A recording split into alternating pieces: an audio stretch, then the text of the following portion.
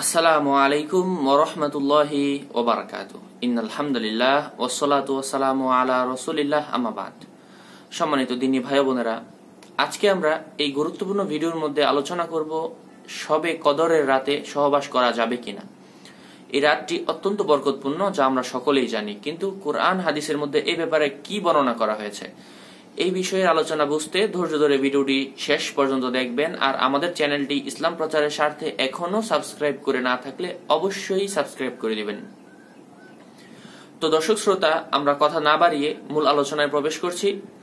আল্লাহ সুবহান ওয়া তাআলা পবিত্র কোরআনের মধ্যে বলতেছেন, ইন্না আনজালনাহু ফি লাইলাতিল কদর ওয়া মা আদরাকা মা লাইলাতুল কদর লাইলাতুল কদরি খায়রুম মিন আলফি আমার বোঝানোর উদ্দেশ্য হলো, লাইলাতুল কদরি খায়রুম মিন আলফি এই লাইলাতুল কদর একটি রাত খৈর, উত্তম, মিন থেকে আলফি শাহর।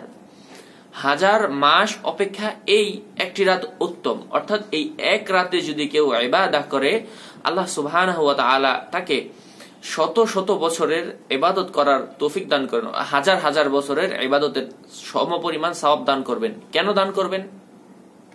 আল্লাহ রসুলের সাহাবারা এক সময় তারা খুবই আতঙ্কিত হয়ে গিয়েছিল, চিন্তিত হয়ে গিয়েছিল।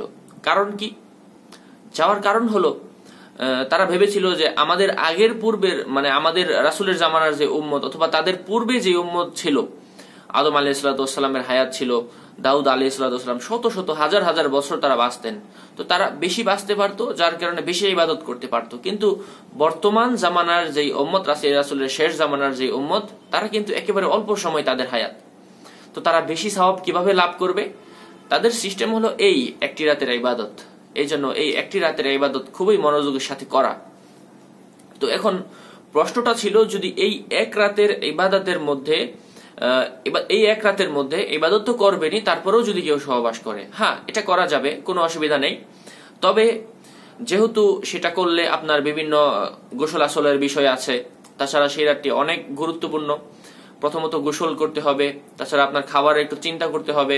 অথবা একটু মানে মস্তিষ্কের একটু চাপ আছে। তাছাড়া বিভিন্ন কাপড় চোপড়ের মধ্যে নাপাকি লাগলে সেগুলো ধোয়া পরিষ্কার করা একটা টেনশন থাকে। তো এই রাতে এই জন্য মনে করি, না, আপনারা যদি সহবাস না করেন, সেটাই উত্তম হবে। না করাটাই উত্তম। তবে কেউ যদি করতে চায়, সে অবশ্যই এবাদতের পাশাপাশি করতে পারে। সহবাস সহবাস, এটাও একটা এবাদত। কীভাবে এবাদত? এই এবাদতের মাধ্যমে আপনি একটি সন্তান জন্মদান করতে পারবেন, বের হতে পারবেন। এই রাতে আপনি ভালো নিয়ত করলে এটা, এই সহবাস করলেন। কেননা আপনি ওই রাতে এবং দোয়াও করলেন যে আল্লাহ, এই রাতে, এই উত্তম রাত থেকে আমি যে সন্তানটা নিচ্ছি, যদি হয়ে যায়, তাহলে তুমি এর, একে তুমি আল্লাহর অলি হিসাবে কবুল করো, একে তুমি দিনের দায়ী হিসাবে কবুল করো। হ্যাঁ আপনি এই নিয়ত করতে পারেন, কোনো অসুবিধা নেই।